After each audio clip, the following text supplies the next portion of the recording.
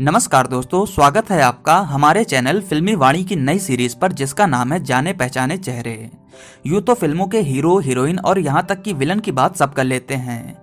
लेकिन कुछ किरदार ऐसे भी होते हैं जो असल ज़िंदगी में काफ़ी संघर्षों का सामना करके आगे बढ़े होते हैं, लेकिन फ़िल्मों में बतौर लीड अपनी जगह बना पाने में असफल रहते हैं। उनको पूरी तरह से दरकिनार कर दिया जाता है और कोई उनकी बात तक नहीं करता।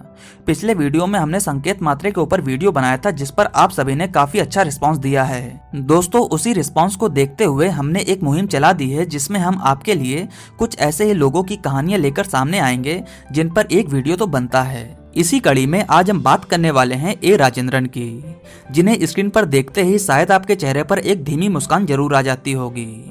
एक लंबा, पतला सा, लीन बॉडी का ये शख्स, जिसके सर पर बाल नहीं है, चेहरे पर आईब्रो नहीं है, भले ही आपकी मुस्कुराहट का कारण ज़रूर बन जाते हों, लेकिन असल ज़िंदगी में फ़िल्म सेट पर हुए एक हादसे का शिकार हैं ये। वीडियो के साथ बने रहें बहुत सारी दिलचस्प बातें ए राजेंद्रन के बारे में आपको जानने को मिलेंगी। दोस्तों, ए राजेंद्रन एक श्रीलंकन मूल के एक्टर थे, जिनकी फैमिली कभी श्रीलंका में रहा करती थी, लेकिन अब इन्हें भारत की नेशनलिटी मिल चुकी है। स्क्रीन पर ए राजेंद्रन के नाम से मशहूर इस शख्स का असली नाम है मोट्टई राजेंद्रन। इनका जन्म 1 जून साल उन्नीस सौ सत्तावन को तुतुकुड़ी तमिलनाडु में हुआ, जिसे ब्रिटिश टाइम पीरियड में तुतुकोरिन कहा जाता था।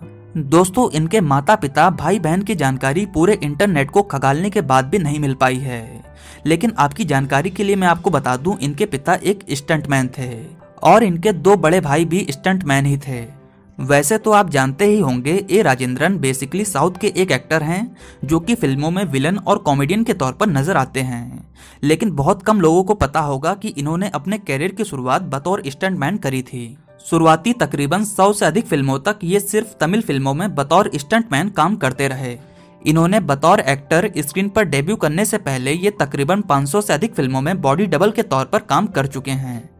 ये सन 1978 से इस काम को कर रहे हैं और इन्होंने शिवाजी गणेशन, मोहनलाल, रजनीकांत, कमल हसन, थला अजीत, थलापति विजय और चिया विक्रम जैसे 80s से 90s के लगभग सभी एक्टर्स की फ़िल्मों में बतौर बॉडी डबल काम किया है। एक इंटरव्यू के दौरान राजेंद्रन सर ने बताया था कि ऐसे कई स्टंट के दौरान कई बार उनकी जान भी जाने से बची है। उस दौरान टेक्नोलॉजी इतनी डेवलप हुई नहीं थी और सारे स्टंट खुद ही परफॉर्म करने पड़ते थे।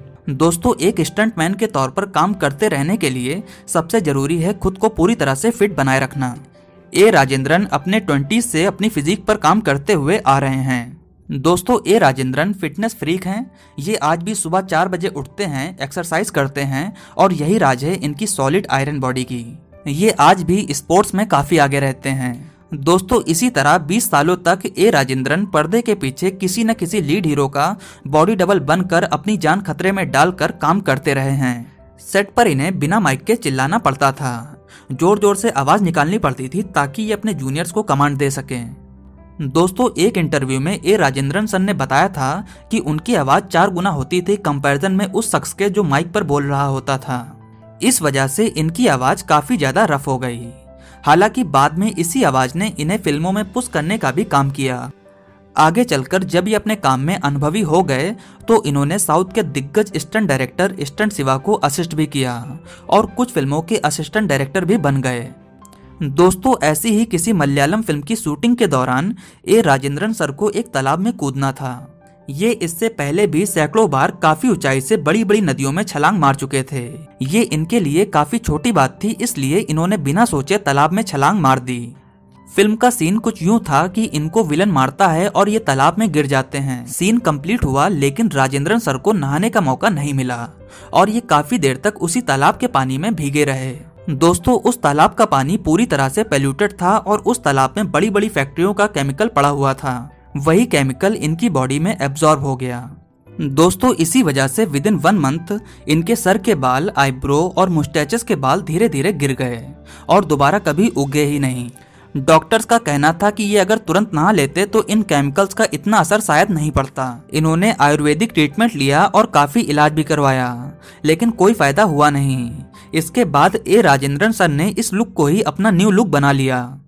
और दोस्तों, इसी लुक ने आगे चलकर इनको फ़िल्मों में काम करने का मौका दिया।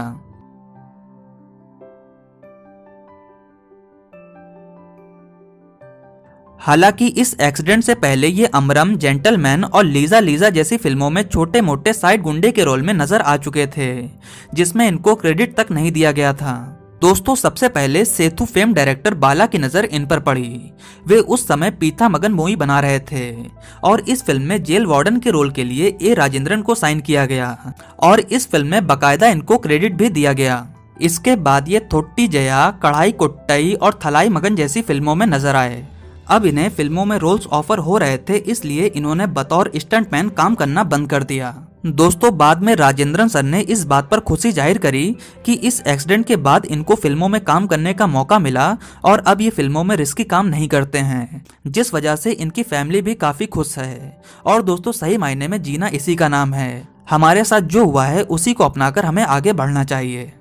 इसके बाद ये बाला की मूवी नान कदवल में मेन विलन के तौर पर नज़र आए थंडावन के किरदार में ये खूब जमे और आगे चल के इन्हें कई अवार्ड्स के नॉमिनेशन भी मिले हैं।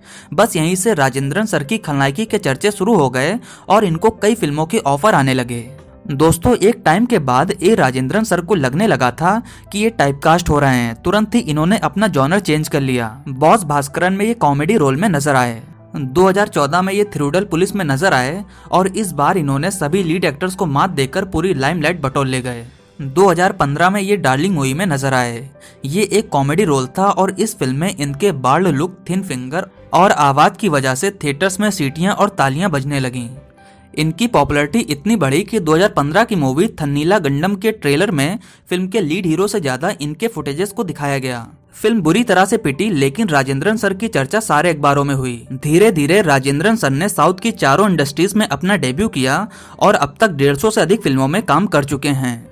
इन फ़िल्मों में Kanchana two, Vedalam, Theri, Remo, Bruce Lee, Mersal, NOTA और चलो जैसी बड़ी फ़िल्में भी शामिल हैं। दोस्तों, बात करें इनके मैरिटल स्टेटस की तो मैं आपको बता दूँ, राजेंद्रन सर की एक बेहद ही खूबसूरत वाइफ हैं, जिनका नाम नलिनी नायर है।